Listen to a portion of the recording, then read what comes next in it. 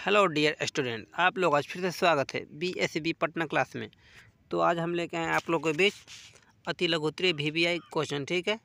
तो इसको हम इसको हम आज सॉल्व करेंगे, ठीक है? जो इससे पहले इसका थ्योरी क्लास हो चुका है, ठीक है?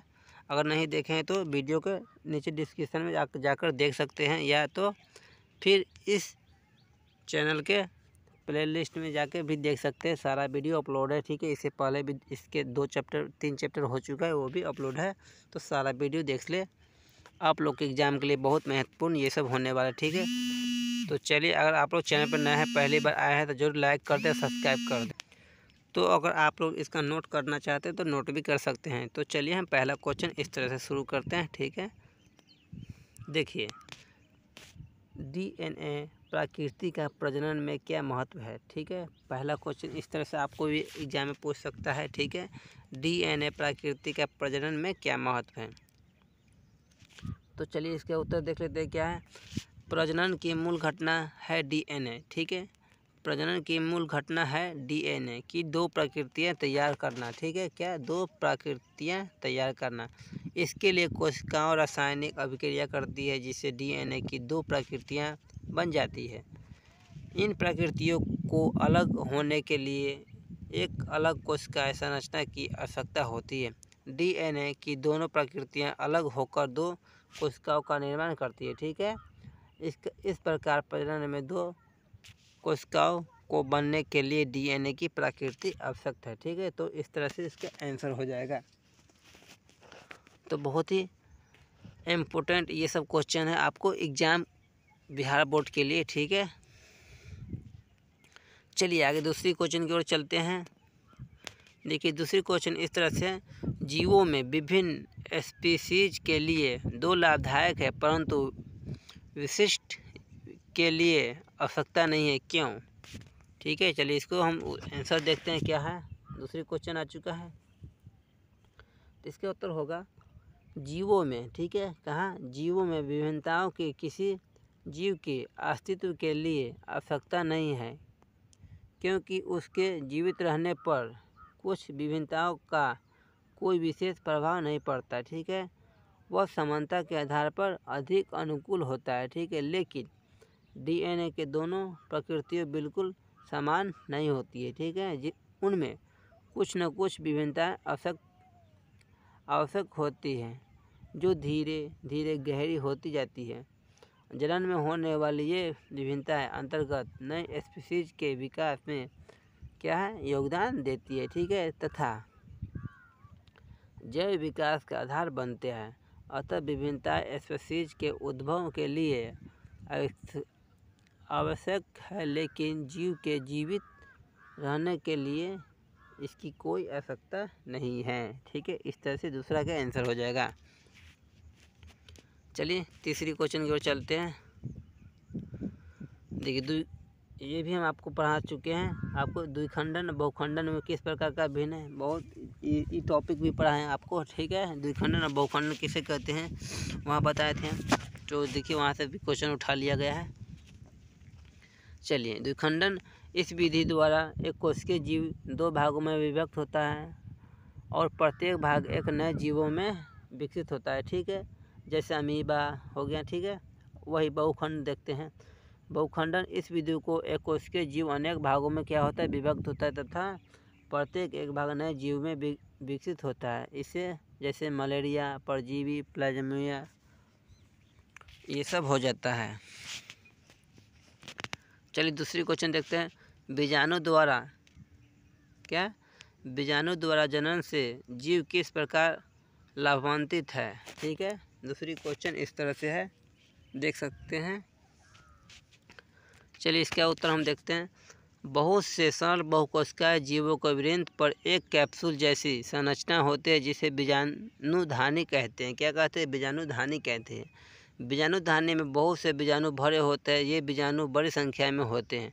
इस प्रकार एक बीजाणुधानी से एक बड़ी संख्या में नए जीव उत्पन्न हो सकते हैं। इस प्रकार यह ऐसा जीव के लिए लाभदायक होता है जिसे जनन बीजाणु द्वारा होता है। जैसे क्या कहते हैं उसको? राय जोपस कहते हैं, ठीक है? राय जोपस।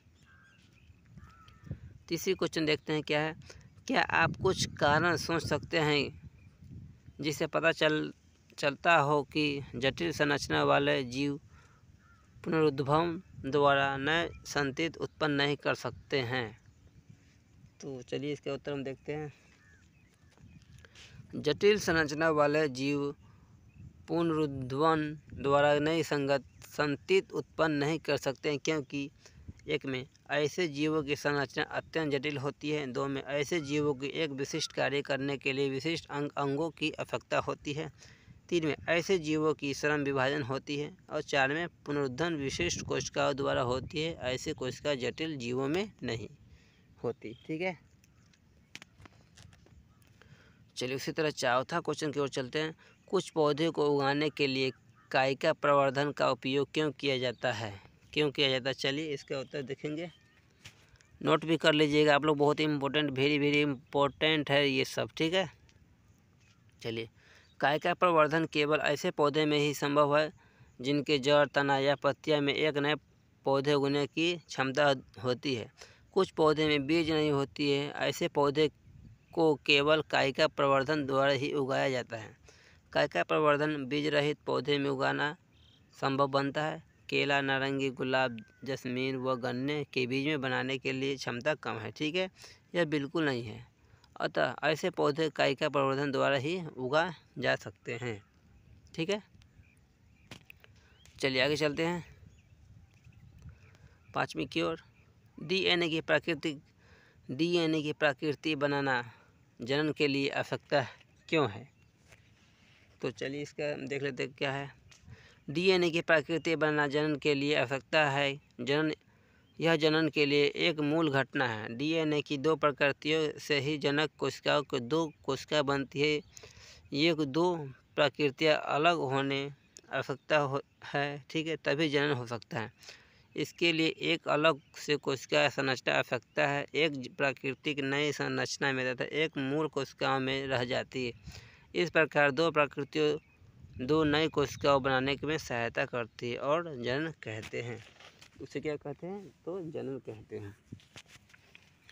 चलिए आगे देखते हैं। आठ पॉइंट थ्री आधारित क्वेश्चन है, ठीक है। पराग परागन क्रिया निषेचन से क्या किस प्रकार का भिन्न है? ठीक है, ये क्वेश्चन है आपको। परागन क्रिया निषेचन से किस प्रकार भिन्न है? चलिए आगे देखते हैं। परागन प्रकरणों के प्राकोष के वर्तिकाग्र तक पहुँचने की क्रिया को परागन क्रिया कहते हैं। इस परागण क्रिया में किसी प्रकार के दो कोशिकाओं में संलयन नहीं होते हैं। यह निषेचन से पहले ही क्रिया है। निषेचन निषेचन में नर व मादा युग्मों का संलयन होती है क्या होता है संलयन होती है, तथा नर युग्म तथा युग्म नज बनता है, यह पर परागन के बाद की क्रिया है। ठीक है? चलिए, आठ, दूसरी क्वेश्चन की ओर चलते हैं। शुक्राशय एवं प्रोस्टेट ग्रंथि की क्या भूमिका है? नर जनन तंत्र में कुछ ग्रंथियाँ जैसे शुक्राय एवं प्रोस्टेट ग्रंथियाँ हो, होती है। इस ग्रंथियों को स्राव शुक्राणु के साथ मिलते हैं। इस प्रकार शुक्राणु का द्रव में आ जाते हैं। यह द्रव शुक्राणु को स्थानांतरण के आसान बनता है। यह द्रव शुक्राणु को पोषण की क्या करता है? प्रदान करता है। चलिए आगे देखते तीन नंबर में। यौन रंभव के समय लड़कियों में कौन सा परिवर्तन दिखाई देते हैं? ठीक है? तो चलिए इसको देखते हैं। यौन नरम्भ के समय लड़कियों में निम्न परिवर्तन दिखाई देते एक में स्थान स्तनों के आकार के वृद्धि हो जाना ठीक है? स्तनाग्रह की त्वचा का रंग गहरा होने लगता है ठीक है? रजोधर्म प्रारंभ होने लगता है। त्वचा तौलिए त्वचा तैलीय हो, हो जाती है, चेहरे पर मुहासे निकलने लगते हैं। श्रेणी भाग चौड़ा तथा नितम भारी हो जाता है। आवाज़ महीने एवं सुरीले हो जाते हैं। ठीक है? ये सब उनकी खूबियाँ है। चलिए, आगे देखते हैं। माँ के शरीर में गर्भस्था भ्रूण को पोषण किस प्रकार प्राप्त करते, प्राप्त होते हैं? ठीक है, किस प्रकार प्राप्त होते हैं? तो इसको हम सॉल्व करेंगे क्वेश्चन चलिए देखते हैं। निषेचन के बाद युग्मनज बनता है, जो धीरे धीरे भ्रूण में विकसित होने लगता है। भ्रूण गर्भाशय की भित्ति से चिप, चिपक जाता है, ठीक है? इस प्रक्रिया को इम्प्लांटेशन कहते हैं। क्या कहते हैं इम्प्लांटेशन कहते हैं। भ्रूण माता के शरीर में अपनी भोजन प्राप्त करता है। इसके लिए एक विशिष्ट उत्तक जिसे क्या कहते हैं? प्लेसेंटा कहते हैं। होता है यह एक तस्तक नुमा संरचना है जो गर्भाशय की भित्ति में घुसा होता है, ठीक है? माता के गर्भाशय की भित्ति विलय से बनी होती है, जो गर्भाशय का क्षेत्रफल बढ़ता है। इससे भ्रूण को अधिक ग्लूकोज व ऑक्सीजन मिलता है। इस प्रकार भ्रूण माता के शरीर में अपना पोषण क्या करता है? प्राप्त करता है। ठीक है, चौथा क्वेश्चन इस तरह से हो चुका है। पाँचवीं की ओर चलते हैं फिर हम। यदि कोई महिला कॉपर टी का प्रयोग कर रही तो वह तो क्या हुआ? उसकी यौन संरचना रोगों में सुरक्षा करेगी? तो इसके उत्तर देखते थे यदि कोई महिला कॉपर टी का प्रयोग कर रही तो यह उसकी यौन संरचना रोगों से रक्षा नहीं करेगी। क्या करेगी? नहीं करेगी। चलिए, कुछ ऑब्जेक्टिव क्वेश्चन है, उसको देख लेते हैं। अलौंगिक जन अलौंगिक जनन मुकुलन द्वारा होता है। किसके द्वारा होता है? तो यीस्ट के द्वारा। किससे? यीस्ट के द्वारा होता है। निम्न में से कौन मानव में मादा जनन तंत्र का भाग नहीं है? तो कौन है? तो शुक्रवाहिका है। कौन शुक्रवाहिका भाग नहीं है? चलिए परागकोश में होता है। क्या होता है? तो परागकण होता है। परागकोश में तो परागकण ही ना होगा। चलिए, आगे देखते हैं। अब फिर चौथे क्वेश्चन की ओर चलते हैं। जो बहुत इम्पोर्टेंट है लॉन्ग लॉन्ग क्वेश्चन है, ठीक है? इसको हम सॉल्व करेंगे। लौंगिक जनन। लौंगिक, अलौंगिक जनन की अपेक्षा लौंगिक जनन के क्या लाभ हैं? ठीक है, इसको सॉल्व करेंगे। अलौंगिक जनन की अपेक्षा लौंगिक जनन के निम्न लाभ है, जैसे एक में देखते हैं, लौंगिक जनन से जनन संतित में विविधता आती है। जीने, जीन के नए युग्म बनते हैं, जिसके कारण अनुवांशिक विविधता का विकास होता है। नए जीवों के विकास में इसकी महत्वपूर्ण भूमिका होती है, ठीक है? मानव विषण के क्या क्या कार्य हैं? मानव में विषण का क्या कार्य है? तो नर में प्राथमिक जनन अंग अंडकार आकृति का विषण होता है। नर में एक जोड़ी विषण उधर गुहा के बाहर, छोटे अंडान, अंडानुमा मस, मांसल संरचना में रहता है, जिसे विषाणु कोष कहते हैं। विषाणु के शुक्राणु तथा टेस्टोस्टेरोन हार्मोन की उत्पत्ति होती है। विषाणु कोष शुक्राणु बनने के लिए उचित ताप पर क्या करता है? प्राप्त करता है। चलिए, छठी क्वेश्चन की ओर चलते हैं। छठी क्वेश्चन देखते हैं क्या है इसमें। ऋतु स्राव क्यों होता है? ऋतु स्राव क्यों होता है? तो यदि अंडाणु का निषेचन नहीं होता है तो यह एक दिन बाद नष्ट हो जाता है। क्या होता है? नष्ट हो जाता है। गर्भसाय गर्भसाय भी निषेचन अंडाणु को प्राप्त करने की तैयारी करता है। व्यवसाय की की दीवार मोटी तथा स्पंज हो जाती है, लेकिन निषेचन व न होने पर ये धीरे धीरे क्या होता है, टूट जाती है और रुधिर व मयुष्का के रूप में यौन से मार्ग से बाहर निकलती है। ठीक है, इस प्रक्रिया में रोज़ाना या ऋतुस्राव कहते हैं। अतः ऋतुस्राव निषेचन न न होने की अवस्था में होती है। ठीक है? चलिए साथ में देख लेते हैं आपको पीछे पुष्प और अनुधर्य घाट का नामांकित चित्र है। देखिए यहाँ पर। देखिए, बिल्कुल है। इस तरह से।